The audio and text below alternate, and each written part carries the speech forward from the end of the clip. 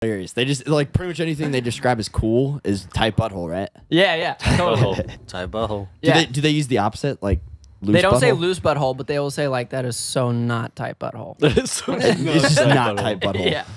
Yeah, I wonder how all the not tight buttholes feel about that. You know, I don't know. hard, man. hard to say. hard to say. I feel like if your butthole's not tight, it's kind of intentional. Probably, that or you're, yeah. you're asking for it. no, Whatever no, you're doing you- in your think time. totally Unless right. you're- like unless you're in people with a loose prison. asshole are trying for that. Like- in theory. You if you're hope. in prison, then it might not be intentional. well, true, but that's unfortunate. We're not. it's you know. unfortunate. Yeah. But if it's intentional, then like hell yeah, you know, guns a blazing.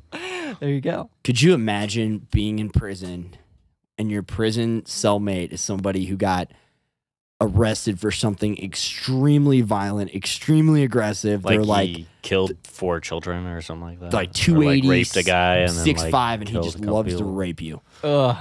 I would. uh I've actually thought about a scenario similar to this before, and uh, I would just Like your warn your dream prison cellmate. my, my dream cellmate. No, for sure. But I, uh, I don't know how I see it is if anybody with first day to prison. I don't know if that's a thing. Like whatever it is, First day- first day yeah, of prison. Yeah, yeah. But uh, I mean, everybody if has people are one. if people are giving me weird eyes or whatever, I will let them know that. Even if I die in the process, if anything tries to go near my beehole, their dick's coming off. For sure. I'm ripping that bitch off. Whatever it's got to go down. I'll let them know. And then nobody wants their dick ripped off. So it seems like a good defense. not. They're like, this Yeah. fucker's crazy. Yeah. I ain't going to try to rape him. So that's my way. Well, out then of they're they're just gonna they're just gonna fucking dommer you and shove a broomstick up your ass. No dick to rip off then.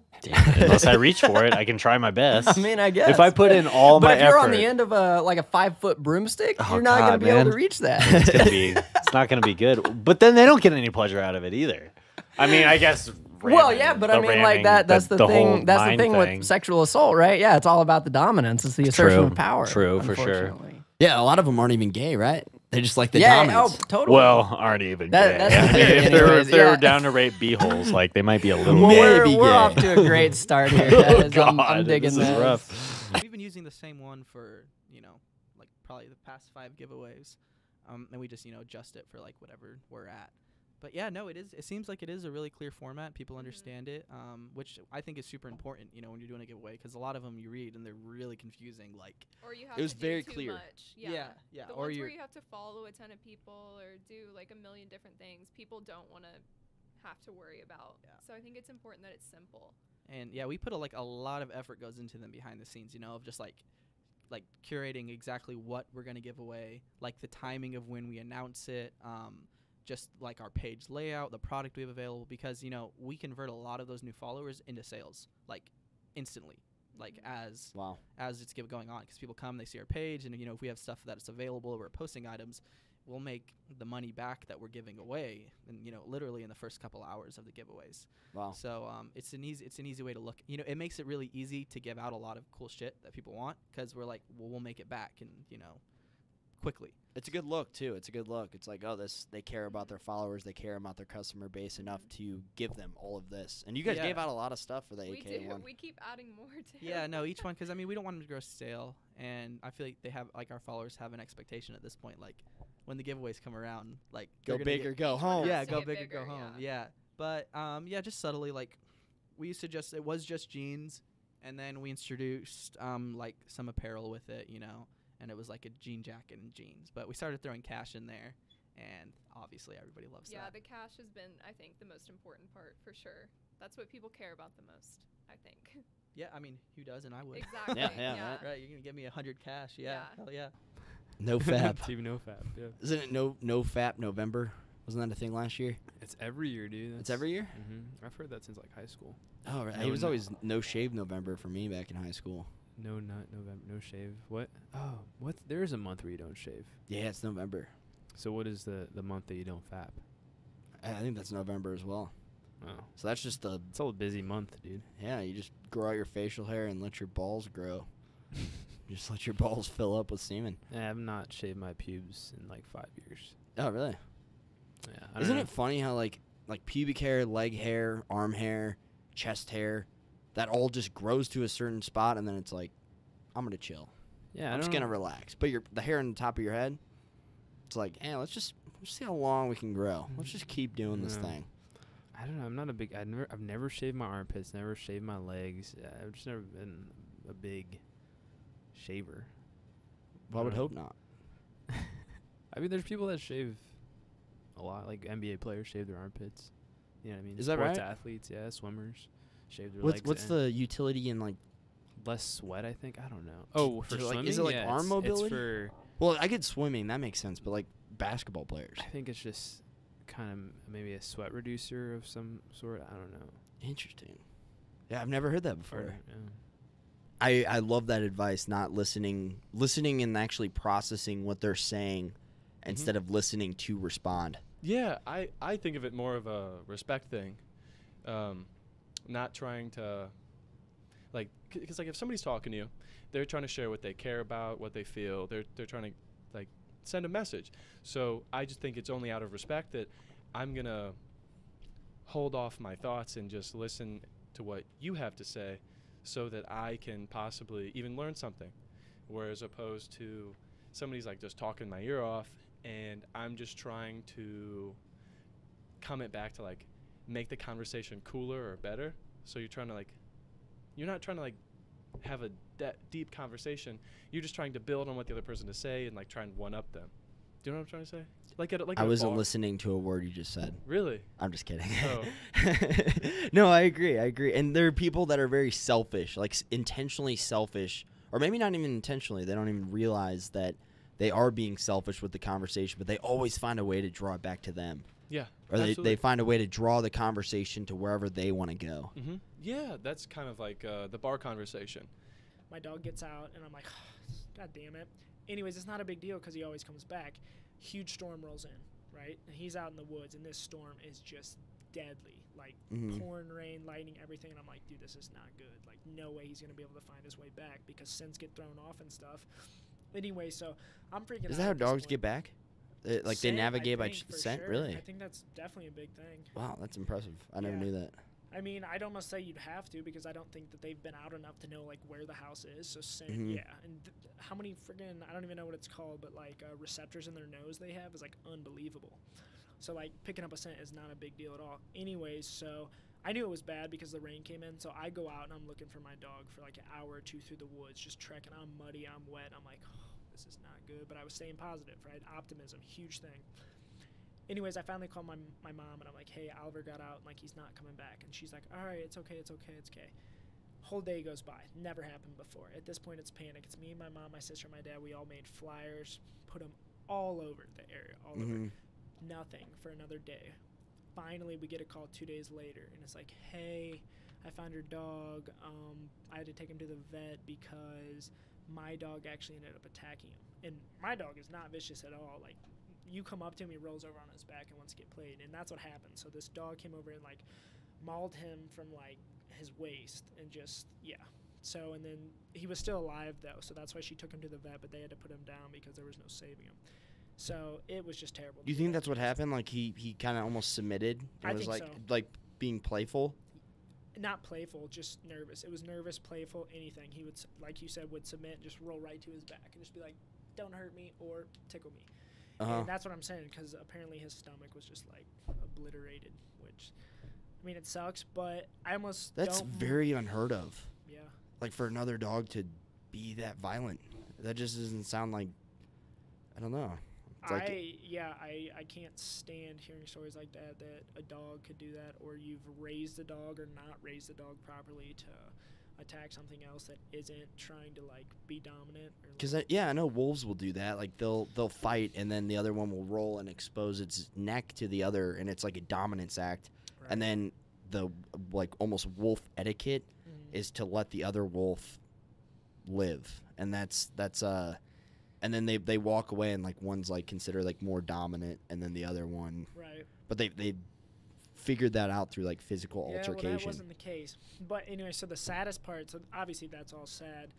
Anyway, so we went and picked uh, his name's Oliver up, put him in, wrapped him up in a blanket, and like I it wasn't a shoebox, but it was some sort of box 'cause we buried him at my house. But we had to show my other dog, and they're like best friends. Like sorry, like your brother just died. So we opened the box and let my other dog come up and like understand like what had happened with death, and that was so sad seeing my other dog like go up and trying to be like, hey, like why aren't you moving? So that Do you think was, dogs can conceptualize the fact of death, like their Um, own mortality, but I, I maybe not their own mortality because that's like a self awareness thing, Mhm. but. Are they able to conceptualize that another dog is passed or that their their owner is passed? I'm sure we could find a lot of research behind that. Personally, I don't know. If I had to make an assumption, yeah, I think so. You think your dog could tell? Like just that specific instance you yeah, thought Yeah, I've seen. I mean, mother dogs. Like I saw a video on Facebook the other day where uh, it was like an earthquake, and this dog had puppies, and all of his puppies were under all the rubble, and he went and got somebody. Or the mom went and got somebody and was like right here and was like digging until the humans like went over there and like got all their puppies out. So instinctively, yeah, they they have instincts like any other I think living creature. mm-hmm. I'd say yeah. I don't know. I'd say yeah, but I don't know enough about it to like make a logical. I would guess yes as well. Mm-hmm. there's already like a communicational, technological, like cultural gap. You know, like in the way that you think about like between like people our age and our parents, you know, where it's like they just don't get it kind of attitude. And like I totally get the same sense with people who are born in like fucking 97 and 98, you know. That's only 3 or 4 years younger than us Yeah, but for there's sure. such a gap and like a lot of them are on like such a different more involved social It's media meme yeah. type culture that like you know it's already to the point where like they're making references to stuff and like you know even as much as just like using text slang and and abbreviations and stuff i was like what the f- is Mhm. this That Like, is crazy I have to think like, about. it's almost difficult to communicate with this person because I, that we're you know they're referencing things and like Just the- like, I don't know what you're the talking about, yeah. memes and the the language and everything is so embedded in their communication style that it Mm. just like You're just like, I don't even know. yeah it's bizarre. That's funny. Yeah.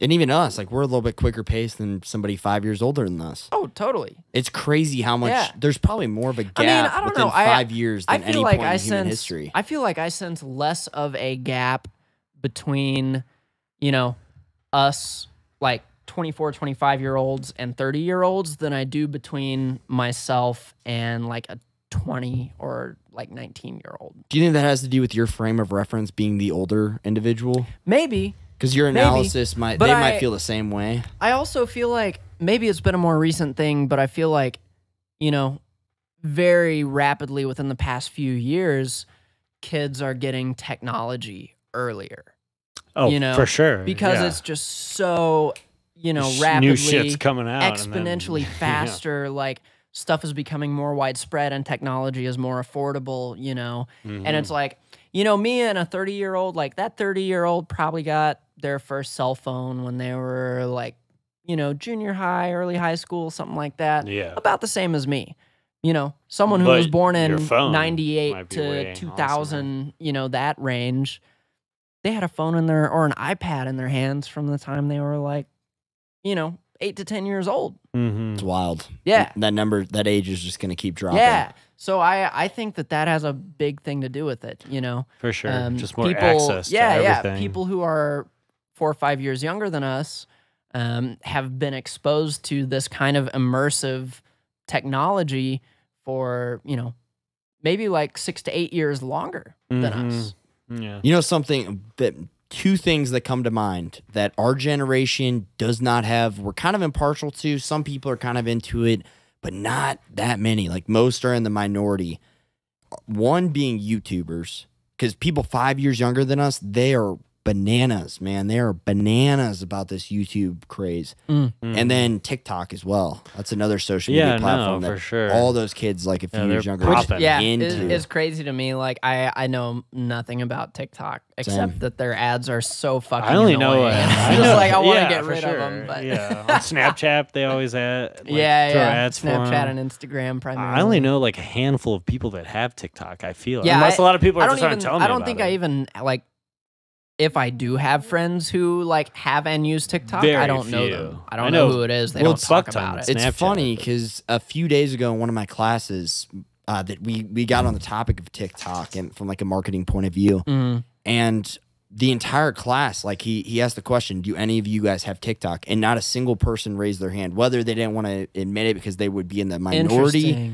It, I mean, that's possible, but not a single person in that classroom had Mhm. TikTok. I guarantee if you were to go back five years younger, so even just freshman in college, freshman Oh. in college, or maybe like I- senior yeah, in I high bet school. that number was exponentially larger. I bet it's at least. I bet it. I I don't know, but I bet maybe half the class. You know what I mean? yeah, Mhm. yeah, that's super interesting. Now I know that you used to be big into Vine, Mhm. so like, are, are have you familiarized Yeah. yourself with TikTok at all? Like, do you know how they compare? Um, 'Cause, like, they I don't seem know like- much TikTok about They seems it. seem like, like there's basically- way more uh, effects and stuff you can do with TikTok. At Oh, least, at least okay, from what. I've seen. Like, so Right. a lot. It's funny because a lot of TikToks they advertise like on Snapchat.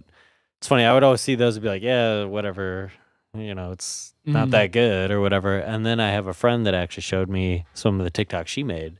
And they were like super cool. Like they were actually really cool. And I was just like, why are they advertising all the shitty TikToks? Like they're Yeah. not that special. it's like whatever.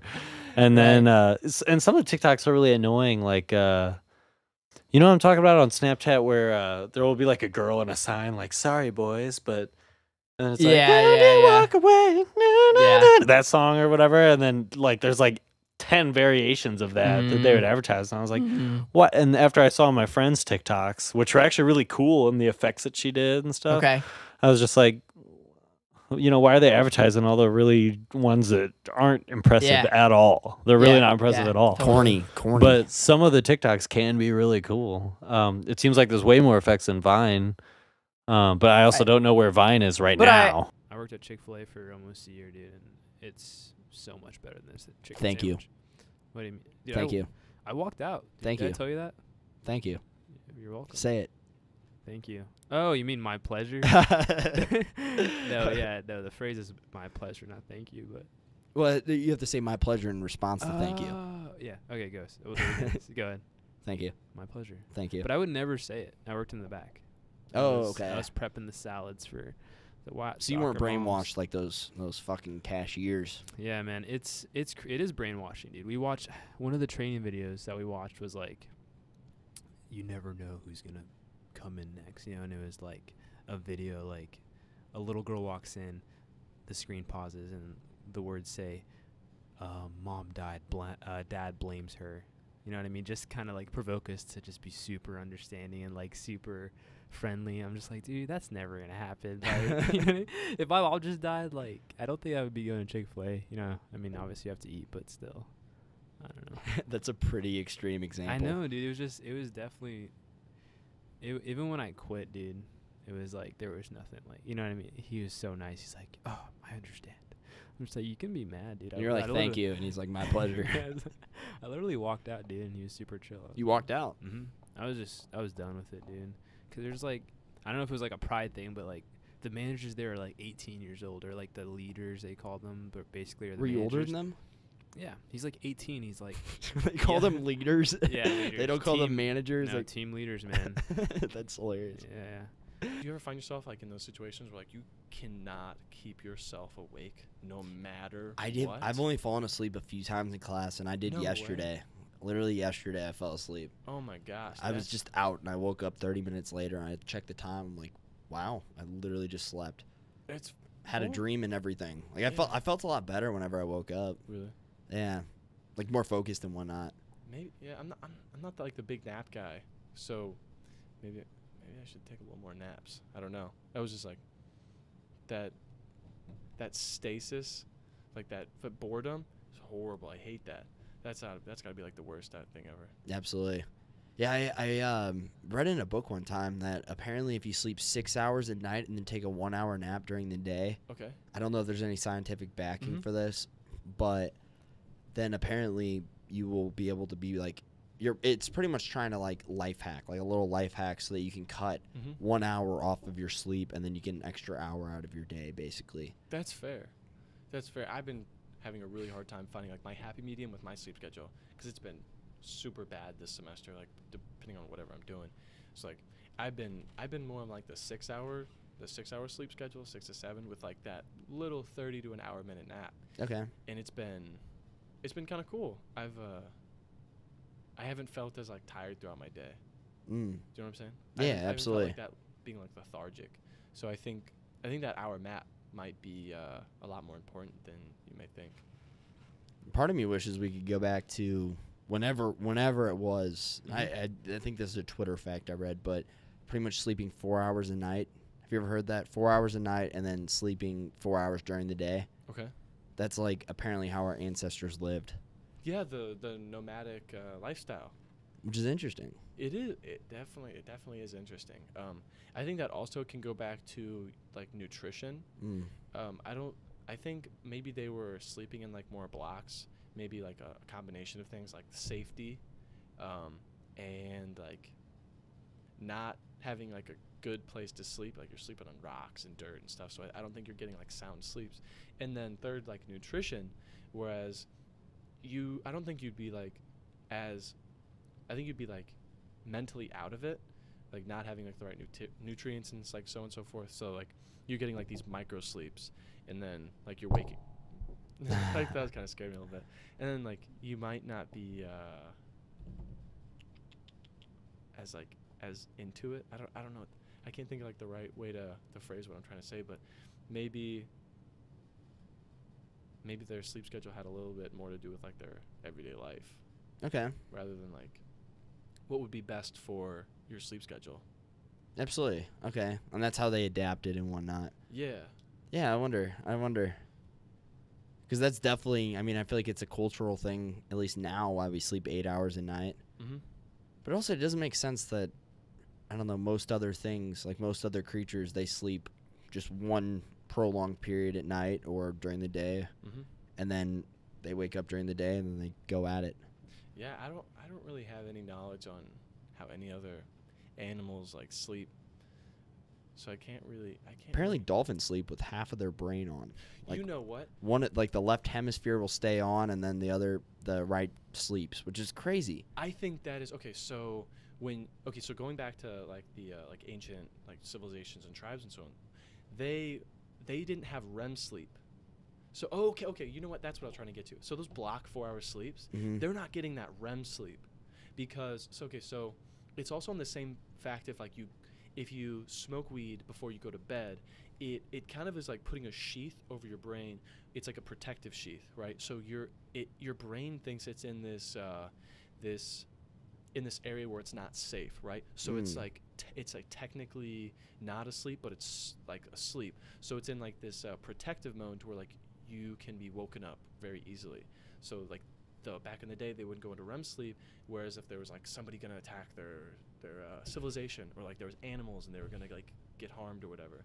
I think that I think that's the same thing with dolphins in the ocean where they always have to be uh, like hyper aware Alert. alert. Yes that's a perfect way to put it. They have to be alert of their surroundings and their situation because they could always be uh, put in danger. So they have to be able to shock themselves out of sleep i think.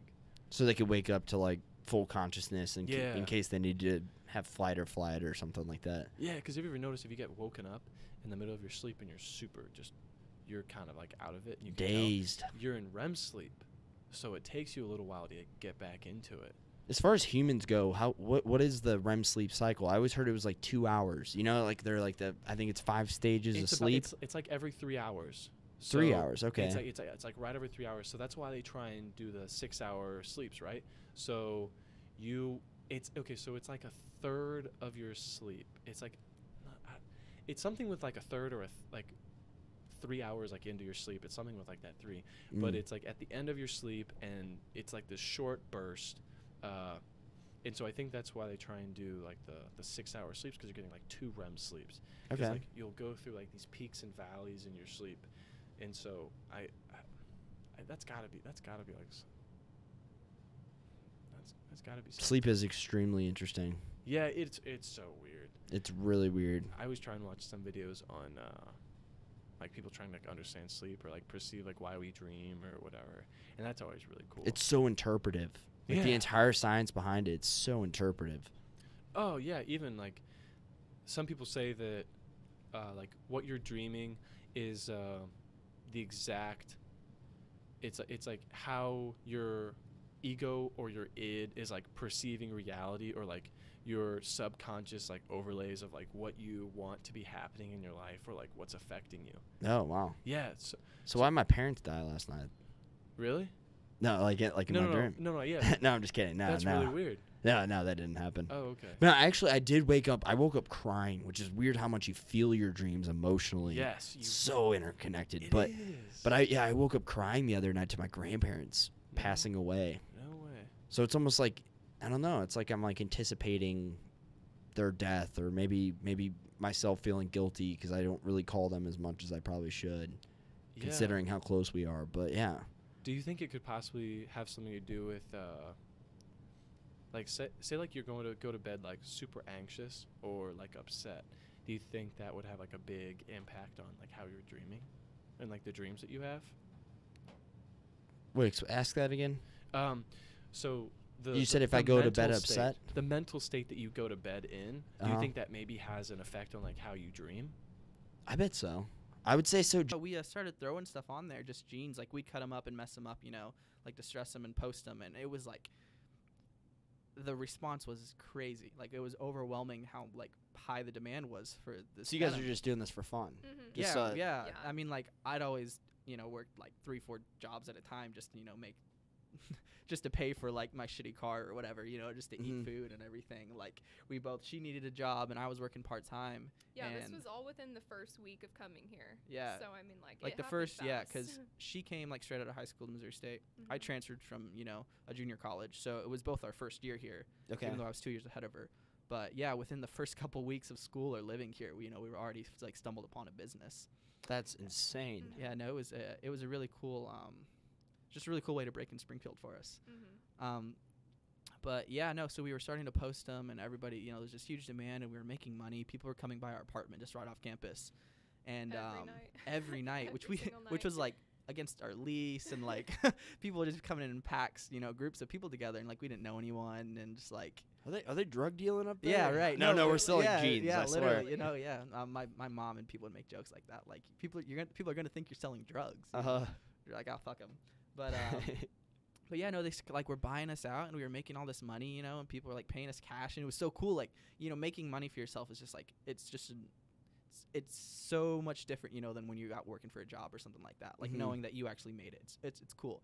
It was like addicting, really. I mean, it is, and um, it changed our whole lives, like from right from the start. It Mhm. and it gave us like a purpose, you know, which was something we were kind of looking for in a new town, a new school, and everything. So hmm um, More. Because you used to be, you used to have a lot of followers on Vine, didn't you? Yeah, yeah. Yeah, I think I reached uh, like viral 40k, status. and then yeah, I had like a lot of people. 10 million loops, something like that. oh my Ten God. million loops. That's Jeez. nuts. That's a lot. That's, of a- that's a crazy man. number to ponder. Yeah. One 10 of million? Yeah, one sure. Vine got half of those loops though. I 'Cause it- remember you telling actually- me that. Which yeah. Vine was it? What What? yeah. do? What was that So, video? What I was going for, I don't even think it was my funniest. Like I don't think it was my most creative or funniest. But I, I remember waking up caught one day and I was like, my hair is everywhere, and I was kind of going for the appeal. And I this is not my favorite sense of humor, but I Mhm. was going for relatability on a, a myriad of of levels, I guess you'd say. Yeah. So I found two songs that were in pop culture at the time, really all over the radio and whatnot. And then I, oh, what was it? Oh, then I related it to people going to school because I, I'm like, okay, this is going to relate to a massive amount of people. Mm-hmm. So, oh, what was the vine? It was in the beginning of the semester versus the end of the semester. And the very beginning of the semester, I'm like, I got my hair like combed and, um, I, I think I had like a nicer shirt on and I'm being very attentive, like pretending to like write down. And then it's, it was that Rihanna song. It's like work, work, work, work, work. Uh-huh. and then, um, Yeah, I believe And- that song is called "Work."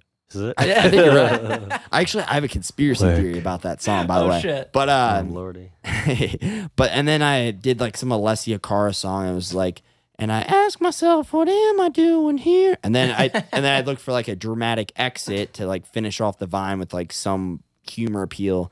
Even though I personally didn't find it like hilarious, I just thought it was like an equation that would maybe Yeah. work.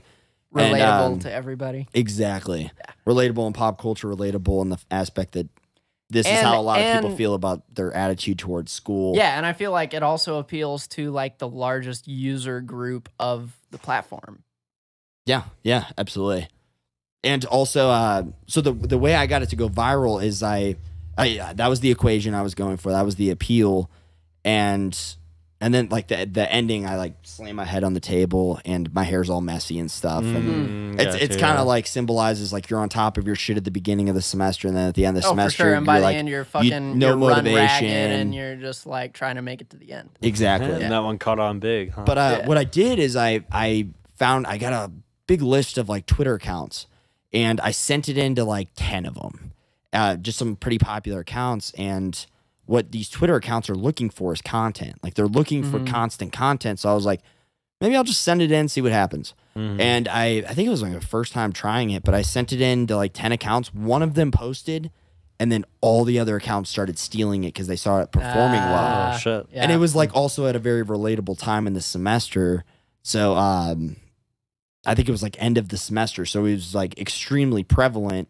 So everybody was retweeting and favoriting it and whatnot, and then Mhm. that post Yeah. alone got up to like five million loops, and then it got posted on Facebook on some account that hit like five hundred thousand, and uh, like every once in a while people will tag me in it too, at, like on Instagram or something like some popular Instagram account will post it. But it's cool, man. Like I, I- Yeah. Yeah. there's this shirt Ha- that I have, have. you ever had anyone come up to you like in public and just be like, "You're the Vine guy"? It Or, used like, to happen on campus at Missouri State. Like, Really? I could see that. I see that, think in, it, the there were like two semesters where I was known as like the Vine guy, Yeah. Yeah, for sure. and I think it within those two semesters, maybe like ten people on campus, hmm like like Yeah. more than I ever would have anticipated. Did you get any pay from Vine? When yeah, I made like four hundred dollars through like some That's- No col- shit. Yeah, Like uh, in a certain was- month or like the whole some time, advertiser or- hit me up and they were wanting me to do advertisements and i think it was like hundred dollars oh, what was it i think it was two hundred dollars for the initial 50000 loops and then every 30000 loops after that was a hundred and i got it up to like 180000 Nice. loops or something like that Oh yeah, Wow. that's great. yeah Pretty sweet. Have you ever? Uh, do you have a? You have a YouTube, don't you? Or do yeah you not? yeah Do you have you ever made money off of YouTube or not? monetizing youtube has gotten a lot it's more trickier, difficult right? Yeah. 'Cause it used to be about Used to two dollars every thousand views, something roughly like that. Uh-huh. Uh, now you have to have you have to hit a requirement, and it's I think it's revolves around watch time, and it's monthly watch so time what they or yearly they have watch to time. like, oh oh okay, it's that's like different. forty thousand hours or something within a Mm. year, or something Mm. like that. I didn't know because I know with like music streaming platforms, you know, like on Spotify, you only have to listen through like the first 30 seconds of a song for the artist to get the full royalty oh, for that song. So I thought that's what you meant. Like, you know, if someone watches the first 60 seconds or whatever of your video, you're going to get the full, like the royalty as if they had watched the full video. Mhm. That would be ideal. That'd be nice. but no, it's like a Yeah. it's kind of like a prereq almost. So you have to Gotcha. have this amount of watch time within a year's time span. Before you can monetize. Yes. So like you can't monetize Interesting. Okay. whatsoever Yeah, yeah. until you reach this threshold, and Hmm. then you, then all the additional views you get on top of that, that's when you start making money. Right on. And you have to have like a thousand subscribers as well. yeah. It didn't used to always be that way. Yeah, I remember now it's gotten a lot. Well, again, like like, as it's grown, they have to regulate it more. Yeah. Yeah, because they're like everybody can just hop on it. Right. Yeah. It yeah. And them like we were talking about, fucking everybody wants to be a YouTuber now. an Everybody really influencer. does. Yeah. Everybody got in the nothing, younger but I would- generation too. You know, being a YouTuber would be sweet. Yeah. You gotta do is make yeah, it sounds like a videos sweet and- gig. I just don't feel like doing that. I don't know too many people our age that are like all about like I want to be a YouTuber. I want to be a YouTuber. But It's usually just a like we little were bit saying, younger. five Right. years younger. Liter- yeah, Yeah. four, three to five years Yeah, younger, and they're all, super about down it. To be very And, like, it- yeah. It's almost a semi-viable career hmm. path. Oh, it, yeah, no, it absolutely is. If you find your own little, you know, your own little niche that Yep. that you got going that Yep. nobody else has really hopped on as big. Yeah. Even if And it people really- have, I like, guess there's it- different like. I guess it really doesn't take that many people. Like if you can develop a small but very loyal following, that you're good. You're Yeah. good. Then it'll just take off. Yeah. More people will hear about and you. it is it's it's so crazy the stuff that is becoming viable and like how weird and Pretty much everything. gets. Pretty much everything. In a weird way, it's like the the big thing, like death. You know what I mean? It's like Life can't exist without death. this is true. Unless we digitize our consciousness at the end of it all, who knows? I've seen some horrible movies, man. One of those was with Johnny Depp. I don't know if you ever saw. I don't remember the, the movie, but he did, that. And Oh, he put, like puts his in the movie, yeah, he his He, like, consciousness. Mm, oh I'm just like Black man, Mirror rotates around that premise a lot. What a show, dude. That's That is good a show. fantastic show. I need to, dude. I might watch an episode tonight. It's definitely it gives you a weird aftertaste. You're just like, yeah, the fact that's a possibility. What I just saw, you know what I mean? Yeah, but definitely good, good show. I feel like it's it's almost like a either this reality or like a dystopian interpretation of the future with just implementing some form of technology that's going to just create a whole new world and I don't know it, it, that hypothetical is really appealing but also scary as fuck. Yeah, because it we just it it's kind of poetic how it makes us realize some weird facet of humanity. You know what I mean? Like our obsession with technology and judging each other through it. You know, and being obsessed with likes. You know, You're talking about that one episode yeah, that, exactly. I mean, yeah, yeah, that episode in, but it's kind of like the whole show is like a technologically advanced society, which we're just we're basically there. You know what I mean? And it kind of surrounds it. The show surrounds it with that and shows us how like it's basically the doom of of uh, humanity's technology. Those are the scariest episodes too. Yeah. Like the ones that make you think the most are the ones that are that seem to be so similar to this reality Mhm. and like modern day modern culture, but they just put one little twist. Yeah. Just add like one part of technology. Like that going back to the one with the likes, it's almost like social media just taken to a whole new extreme. Mhm. And but it's it's very similar to like what this world is like at this point in time. Right. It's they always say if you have self-image of issues, don't go on Instagram because it just everybody's having the best day of their life on Instagram. You know what I mean? So then nobody's gonna post a picture of them crying because they're insecure or something. You know what I mean? Like the real, they're, they're you don't see the real stuff. And And you can't blame them. You want to Yeah. be perceived in a positive light, myself included. yeah, but yeah, I mean everybody has Instagram. I'm not dogging it, but it's just kind of the dark truth. I feel like that's the number one critique of Instagram is that it's like a like a highlight reel of your life and then you're going to be comparing yourself and then I, I will say I, if you're looking for validation on Instagram, you're looking in the wrong spot Yeah. because that can get addictive and that's looking externally for some internal solution and that's just insatiable and it's it's like a bottomless pit. It's a bottomless pit. You're always going to want more and more and more and more and more and I don't know that validation is probably going to That's all we- dissipate. That's what we all want, though, isn't it? Validation. I mean, whether it's in some from somebody else or something, you know. I was watching some video and somebody was talking about like energy flow, like the flow of time, and so like how if uh, if a task is not demanding enough, then you're bored and you are thinking about your next task, or if something is too engaging, then it brings like stress and anxiety. But you got you got to like find that like right middle ground, and so I think that uh, it's really so I, I find I noticed this with my calculus class because it can be. Uh, sometimes it can be so overstimulating that it takes me out of the moment and it take and it Like overwhelming? yeah and so things like drudge on even longer like it makes like the 50 minute class seem like hours and hours because like you're just like you're so overstimulated and so you get like this like weird anxiety and so like everything is just like so much slower and so i try and think about like like that energy flow and going back to that and trying to like calm everything down. Mm. and so like going back to like say like boring stuff trying to make sure that you are uh, i try and like over engage myself if i find myself really bored like sleeping in class. So i'll like really pay attention to what the teacher's saying. Or i'll start like writing stuff down to like try and get back to that energy flow where time like is like moving a lot faster throughout those like really boring classes. Mm. so i think that's like really hard to do It's difficult. Kids, I always walk up and I put my three middle fingers down the shirt and I like move it Just up like and you were ramming your three middle fingers down your throat just before we started rolling. Exactly. Oh, calling we can out. we can see this again. This is the Gogatron 3000 right here. I almost puked last time. I, I had a gag reflex. Yeah. Just had a You know, gag some Boy, guys are into that. Yeah, true. oh goodness, not not back with the rape topic, please. No, let's let's let's direct ourselves away from that. Yeah, we can't spend the entire podcast just talking about prison rape. no, no. Let's not do bad, that. Bad look. We Let's don't not do that. reflect on Yeah, for JSP real. that way. Yeah. Thank you, thank you, It's thank you for a respecting the pod. All right, here we go. Here we go. Three fingers down the throat. I don't know how I feel about it, but I'm doing it. I think I'm turned on That's a the little bit. Gaugatron 3000, and I'm not doing The- it wait, the again. Gaugatron? You saw it. The Gaugatron. the camera saw it. It's on video for one time and Yeah, one time only. This this That is out undesirable. there. That like that is a, a record of you doing that. Yeah. That's gonna be Yeah, I held mean, over I've your never head seen it before. forever. Have you done that in any, any other podcasts? Have you stuck? No, no, that is a first. There you go. That's That a is a first. first.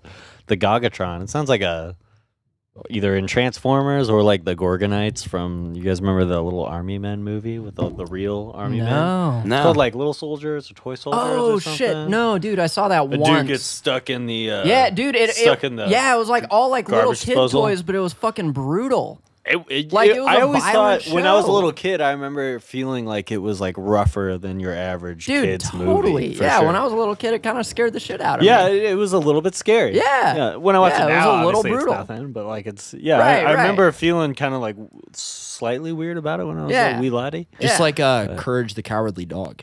Dude. I actually loved Courage when I was a little kid, but now that I watch it when I'm older, I'm like that shit is fucked up. Yeah, dude, I was never allowed to watch that show as a kid. Really? Yeah, really. Were you allowed to watch SpongeBob? No, uh, I like chose not to. I just like wasn't really I mean, I understand. wasn't really into it. I wasn't allowed to watch SpongeBob. I know Really? so I many people that weren't years allowed. later. Yeah, like years sure. later, I was like, there were a lot of jokes that went over my head back yeah. then. Yeah, I just like I never really enjoyed it, but like I SpongeBob's enjoy great. it. I enjoy it more now than I ever You did should, yeah. as a kid. Honestly, wonderful. same. Yeah, Same. But no, I like I was never allowed to watch. Like my parents were really strict about my language, so like I wasn't allowed to watch anything that said butt or like Even- crap even or butt? stuff like that. Yeah, you know, of operating, we uh, started shipping out orders. Um, our very first person that wanted to buy from us, you know, that wasn't here locally, was in Canada. Um, so we were like blown away. We were like, Mhm. "What the? Well, like, how did we like, you know, how'd she find about here? How, how'd she hear of us?" Um, and it just started to grow. f- You know, from there, people like as we like made it clear that we s- like shipping is an option. You know, um, it's like probably probably half of our orders now are Mhm. shipped.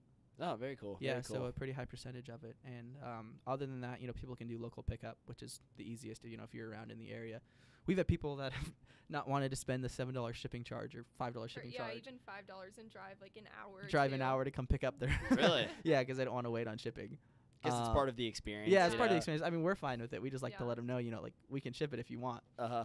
But yeah, no, I mean, um, we have to do a ton of shipping with our orders, so Ton it's of been uh, yeah, and I mean, we've dabbled around with a website before, um, uh, for a few months, and I mean, it, we just weren't ready for it yet. Uh, but yeah, no, we shipped orders through there, and I mean, it, it is it's scalable to that aspect. We've gotten it down, you know, with just our processes of um, getting people's you know information and printing it out and making it a pretty easy. Uh, and fun packaging. That's a new thing. Yeah. Yeah. we get like I got Halloween packaging, and it seems to be a big hit. Oh, nice. yeah, so um, I would never have thought of that. Yeah. That's that's creative. yeah, people people seem to love it. Um, It gets people to repost it when they get their package, and they're like, "Oh, like cute packaging. Love my new shirt," and then they post it on their stories. So that is a nice, like, it's a nice touch. Mm-hmm. I don't you guys know Yeah. Belle Delphine? No. Yeah, she's do, yeah. Yeah, she's like you know she was a, like a gamer anime Yeah, type yeah, chick, so and then she- she, she- got really sexy and like started Kinda, started yeah. posting just videos that people would obviously watch because she's sexy, Right, right? right. Stuff like that. so, so she's Sex got sells, this, baby. she- that. she's Welcome got to this Hollywood. like weird. Uh, I'm gonna see if I can pull up a picture really quick. Um, but she's like sort of weeaboo, like anime Yeah, girl, like definitely Well, weird. you know the What's like the, the like, like anime. anime. Weeaboo is an anime fan. culture, Yeah, for Okay. sure. Uh, but like I cat never- girl, you know. I'm imagining Yeah. pigtails. sometimes and sometimes in some of her videos, I'm sure. but she yeah, has definitely got like pigtails, s- like she's kind of going for like a Japanese vibe. Okay. Yeah. Okay. Um, but she really like she started as a YouTuber, you know, just doing like makeup tutorials and basic stuff like that, and doing gaming and stuff. Um, but but is she, actually a gamer? I actually don't know. I just I I, just she did. figured I'm, she I'm was. pretty sure she did. She definitely but plays games. she- whether she does. She Hey, all girls kind play of games. yeah. Ah. she kind of broke the internet when she started selling jars of her used bathwater. Oh, that's right. What? That's what I was trying Yes. to think of. What? Yeah. Yes. Yeah. Everybody was all over it because Yeah. they love her. Yeah. like- Really? Yeah. She's just yeah. selling bathwater. Is there any used DNA in there? Would there be DNA in there? That's a good I question. I, mean, don't know if anyone ever possibly. like tested it. For sure. But Could see it going either way. Uh, Depends which jar. yeah, yeah. So she uh I'm sure. it it she's become really controversial. She actually I just read an article earlier today. She has been nominated for a couple, you know, Pornhub does like the uh what are they called like XMAs or something? it's Some like the sorta the dealios. adult uh I cannot think of what they're called. but it's like the what- is adult like an A- acting, you know, awards. Oh, gotcha. Okay. Um, yeah. and she's been nominated for like a few of those even though they're not even. She's, like she they're, doesn't get they naked are in 'em, they are sexy videos, but like but there they're is not. no she's not outright being- nudity. Yeah, there's no Interesting. Yeah, nudity. There's there's never anything. usually other men or anything like that. She's just a sexy chick doing things that people find sexy, even if they're Yeah, normal yeah. activities. But there's weird stuff too. Like um, one of her most viral videos is I it- it has some sort of enticing title that sounds like a typical porn video title, but it's literally just her taking like she's dressed sexy and stuff and she literally just takes a raw egg and Just like bites, it, Yeah, and for like sure. lets it like so stuff like that. Wait, yeah. is she? Does she do ASMR? Pro- maybe, possibly. She there she is. Oh yeah, I've never Yeah. seen her. Wait, are those actual tattoos? No, no, she's Oh, just okay. writing on her face.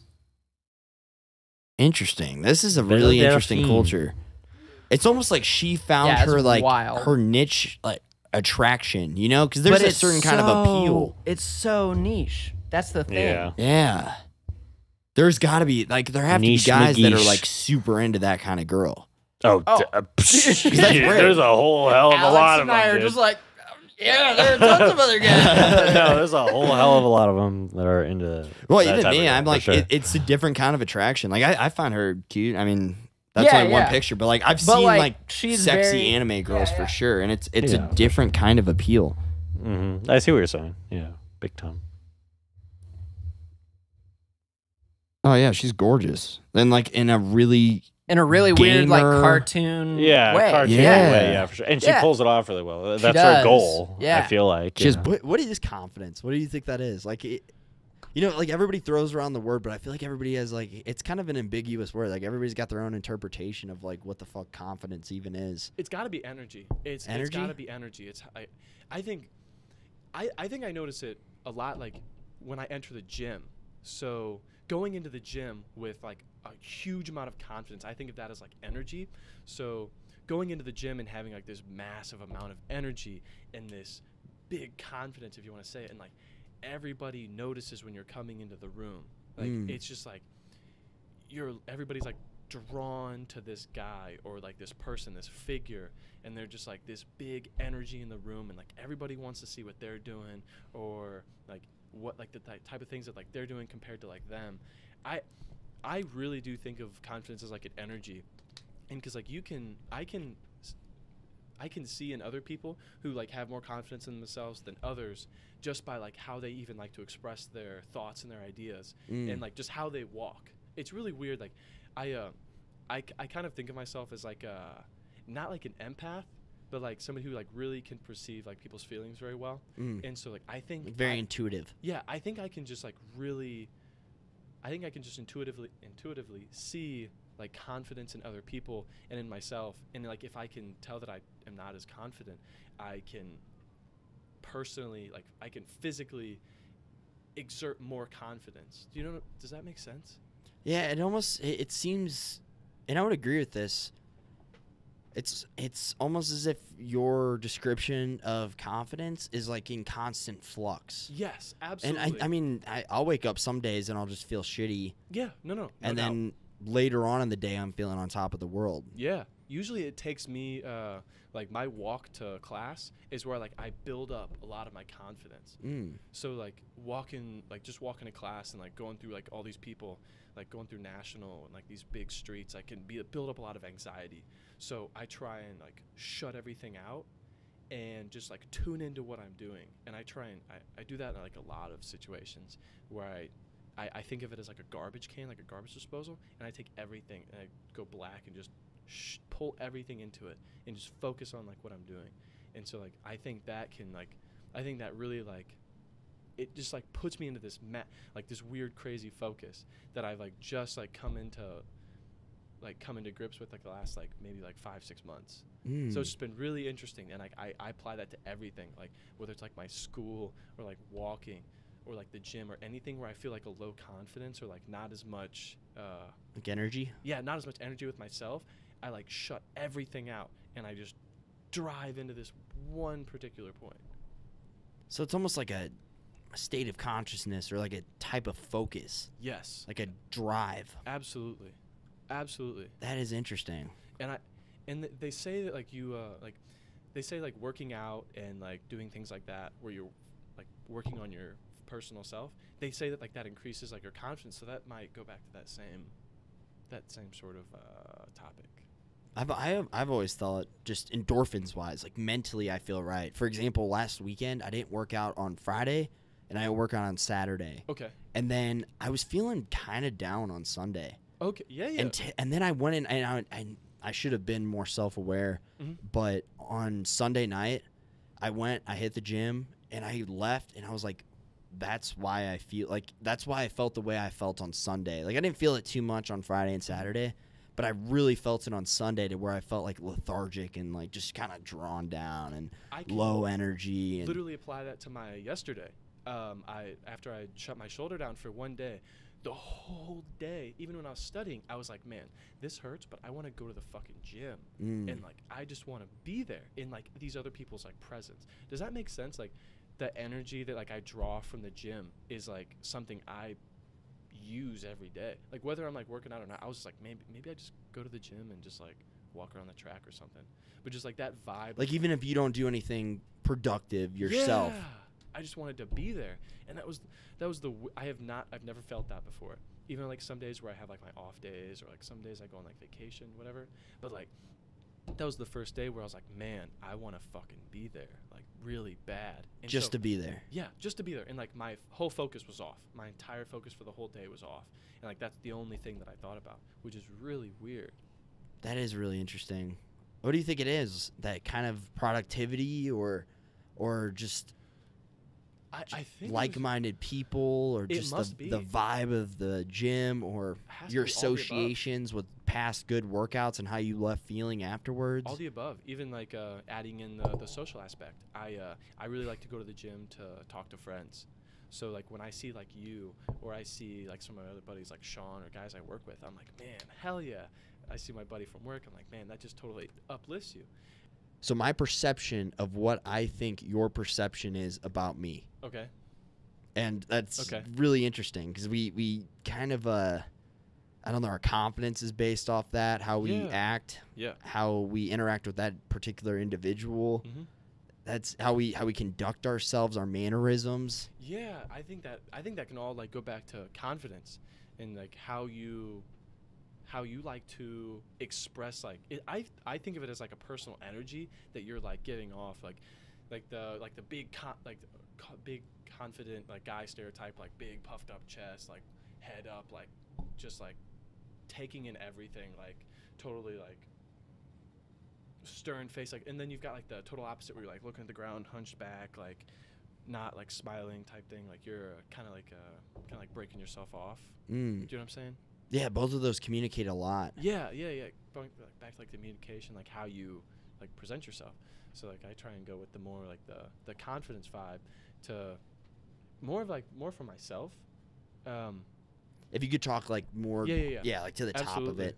Yeah, it's confusing because there's also a lot of philosophies that even describe themselves as neither theistic or atheistic, which is Mm. confusing for a lot of people. Yeah, I haven't looked into that. But yeah, for sure. but Like, why do you have to choose one you know Yeah. you don't necessarily, g- you know, because when you feel like you have to choose one, you're subscribing to someone's definition of what you know Mm. theism is, and you could just go off of that definition. But then usually it involves uh, like God, and then you have to describe uh, what that means. That's like the most is, like- ambiguous word in the dictionary. it dictionary. really is. right? It doesn't mean anything anymore. It means whatever, you know, because pantheists call upon God, whereas you know, you know, Buddhists that don't have a God kind of have a God Mm. when they talk about the the way they talk about reality, even though they're non-theistic or whatever. Right. The way they talk about reality and like the path of wisdom and where it comes from is pretty fucking godlike yeah. you know so it's it's confusing when you try to make those words like uh i know like zen buddhism for instance wouldn't describe themselves as either theistic or non-theistic they describe it as neither Interesting. yeah but still sure. not agnostic. not agnostic either They- you know Hmm. like uh That oh, is a little- fully little. That is interesting. That's interesting. I feel like I Mhm. don't fully understand that. yeah it's not tricky to- it's because like yeah. The the non-dualistic schools of thought uh usually describe themselves as neither because uh you know when there's no dualism then you can't describe it as anything. You know is it reality? Is it god? Is all of it god or all of it reality? It's And, like, really what, what does that even mean? It's just words that we're making up. Maybe there's a So- limitation within my my reasoning for thinking this through, but it's it- my my interpretation of it is on the question of is there a God or is there there a God? Am I theistic or am I not? mm-hmm. I would say I don't believe there is a God. I don't believe there's not a God. But then that draws me to the conclusion that I would have to be agnostic and simply I don't know. right on so uh, that's I mean, interesting. even even if you feel like you know what you believe, uh, I could see you still landing in between. Like I don't describe myself as agnostic, but I don't say that I'm a theist or an non-theist. You know, those they're just both ways of looking at reality are are too limiting for sure. Uh, definitely. To say you're Like- neither, does that imply that you're both simultaneously? Uh, n- well, at least in my case, no. Also, uh, back to Buddhism again. I hate to always draw upon it, but a lot of things they say is like, uh, awakened mind is is not existent, but it's not non-existent. It's not neither existent and neither exist.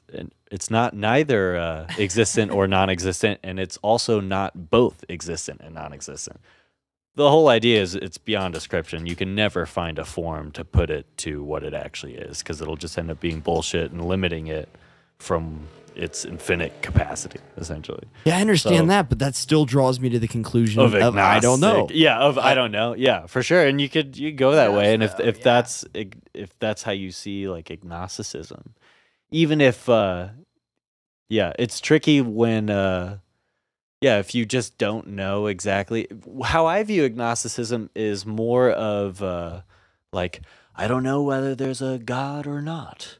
I almost think of it as like a question, agnosticism for me. And maybe I have the wrong idea of it.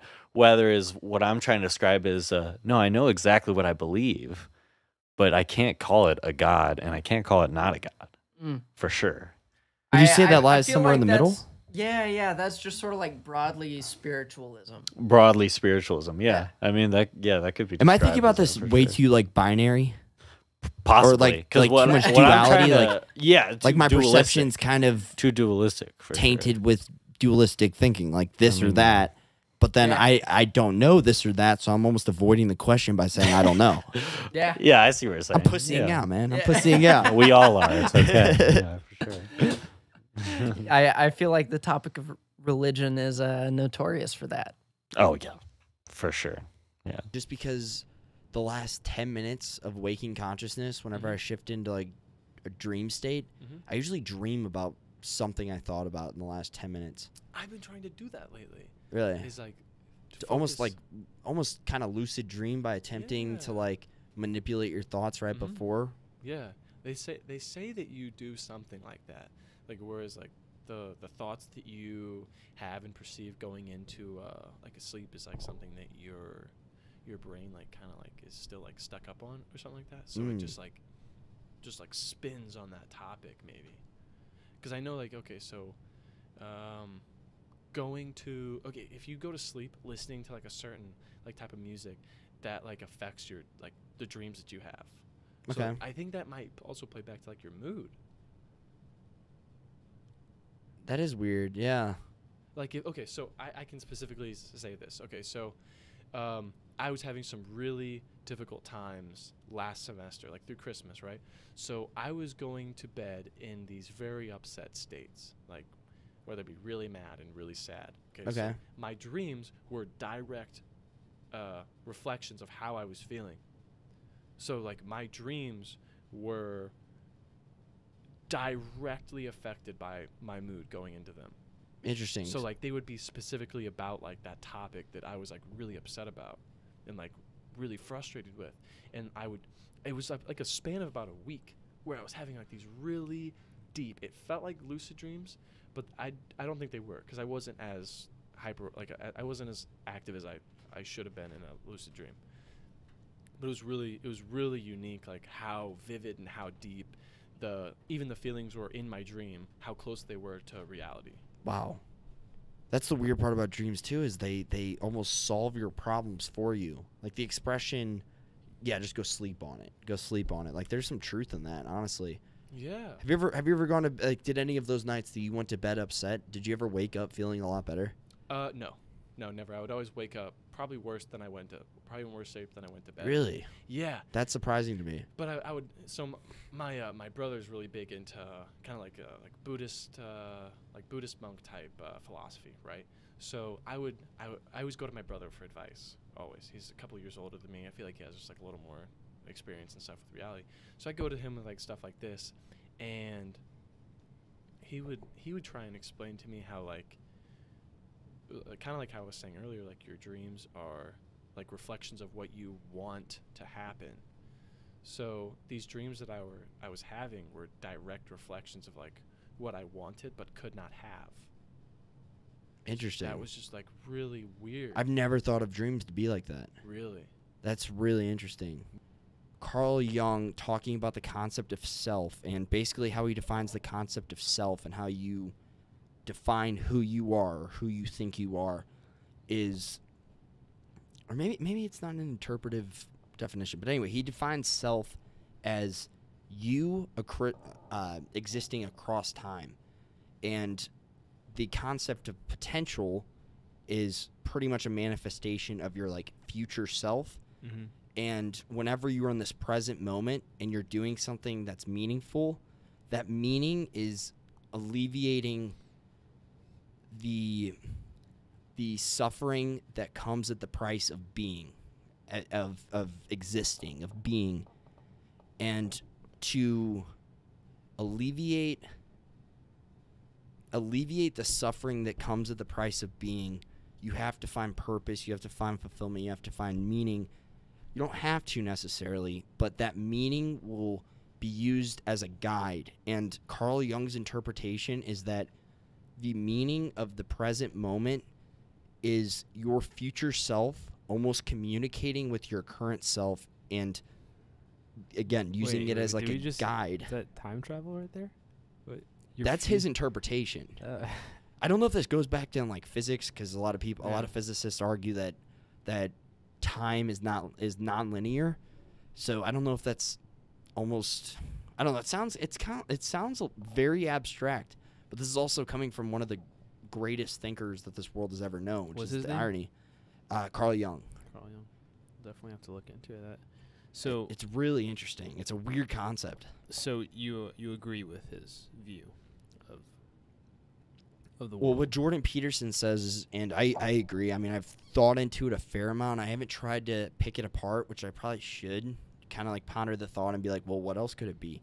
Because obviously that's an interpretation of what the sensation of meaning or fulfillment or joy is in that present moment of doing something that you're fully engaged with and you're deriving that purpose from.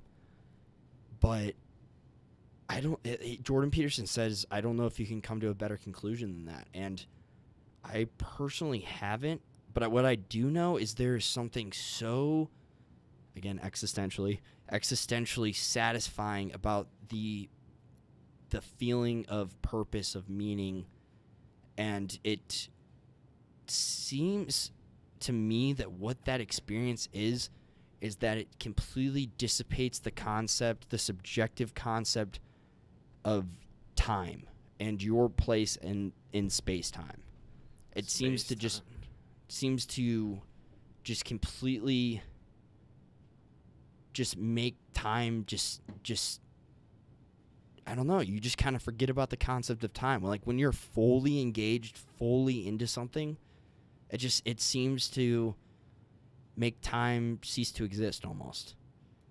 That's my that's my interpretation of meaning. sounds like a scientific nirvana type thing, like you know, kind of finding your fullest self. You know, is that am I off or is that what you're saying? Is like when you're finally at your That's a cool interpretation. Because you're you're very at peace with your is that- experience that's what you of life. saying, though, right? It was I would say I'd say that's accurate. Yeah. Because I mean, like I, I'm not entirely sure what nirvana means, but isn't that that's am I maybe I'm off? Is that isn't that kind of like the final pillar? I don't know. Maybe I'm just like the final pillar of consciousness of like enlightenment. Yeah, exactly. That's how I've always seen nirvana, like synonymous with enlightenment. yeah. I don't know if that's accurate or not, but Hopefully we. I'll look it up later. But that's what I initially thought was kind of that idea. I don't know. I just I think meaning is like the most sustainable form of joy. No.